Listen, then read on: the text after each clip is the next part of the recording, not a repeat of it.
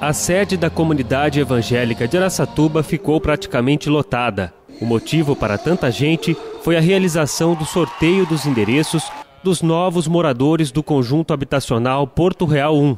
No total, 624 famílias com renda até três salários mínimos foram contempladas pelo programa do governo federal Minha Casa Minha Vida.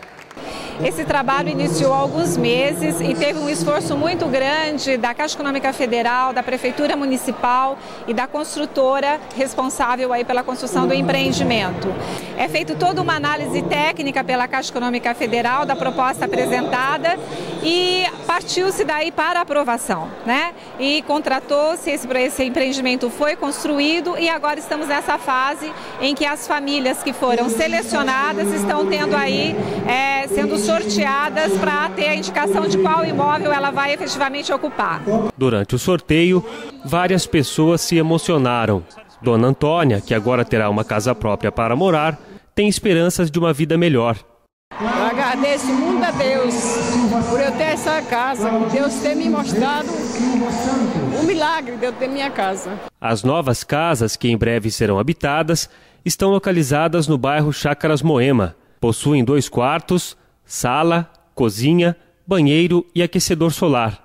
Também contam com infraestrutura necessária de água e esgoto, galerias e asfalto.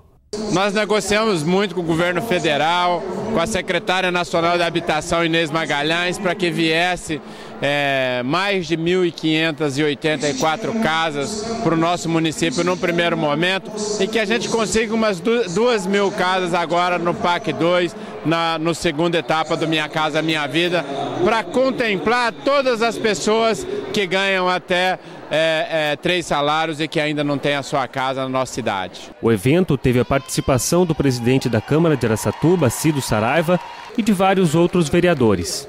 Acho que representa muito, né? Porque a gente vê que várias famílias não tinham oportunidade de ter um teto para morar. Hoje, ela pode dizer que ela tem um teto e pode oferecer algo de melhor para a família dela, onde que ela possa ter, dar um carinho mais tranquilo para o filho. Nós estamos presenciando aqui um momento histórico em Araçatuba.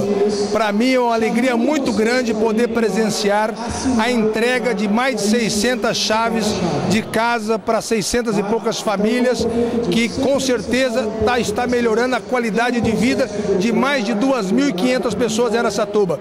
Isso é sinal de que a nossa cidade cidade estará melhorando.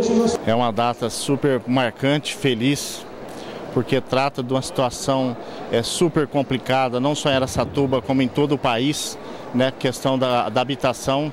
E hoje nós vivemos esse momento feliz aqui de termos 624 famílias.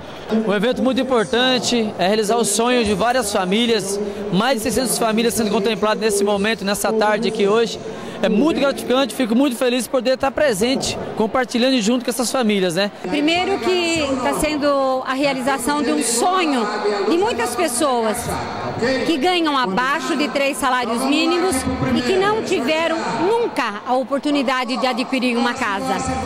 Segundo porque esse é um sonho do presidente Lula que está sendo vivido pelas pessoas. Porque muita gente criticou e não acreditava nesse projeto.